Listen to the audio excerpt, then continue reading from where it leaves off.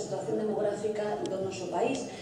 Dependendo da estatística que preveo podemos, sin lugar a dúbidas, eh, podermos coincidir que o dato máis prudente sitúa que dende que vostedes chegaron ao goberno perdemos nada máis e nada menos que 50.000 persoas que saíron do noso país. 50.000 persoas que casi todos eles e elas teñen o rostro de persoas novas.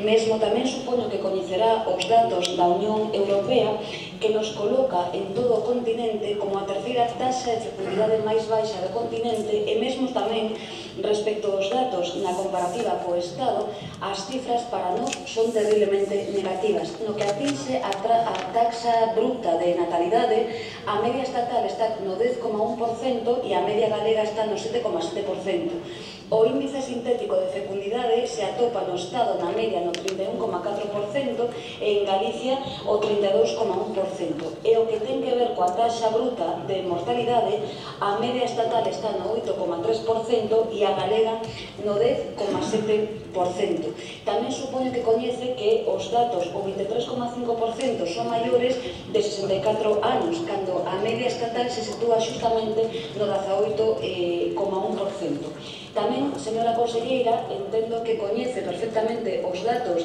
que ás veces empregamos do censo de poboación eh, galega residente no estranxeiro e na variación, na varia, eh, hai unha variante do, 20,9% dende que vostedes chegaron á Xunta de Galicia. No ano 2009 tiñamos unha poboación no exterior de 383.599 que no día de hoxe estamos xa en 463.812, unha variación, como lle digo, do 20,9%, 80.213 persoas máis temos máis mortes que nacementos. Temos 650.000 persoas no limiar de pobreza. Temos 190.000 persoas, señora conselleira, que estando en situación de desemprego non teñen ningún tipo de cobertura social. Temos 100.000 persoas, máis de 100.000 persoas, nas que todos os seus membros están en desemprego.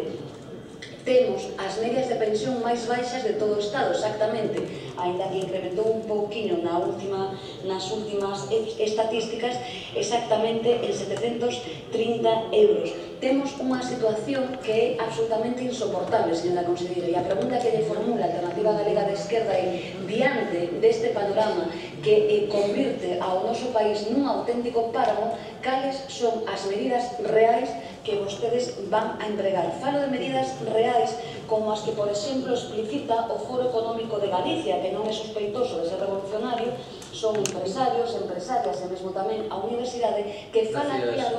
gracias, gracias, señora Díaz.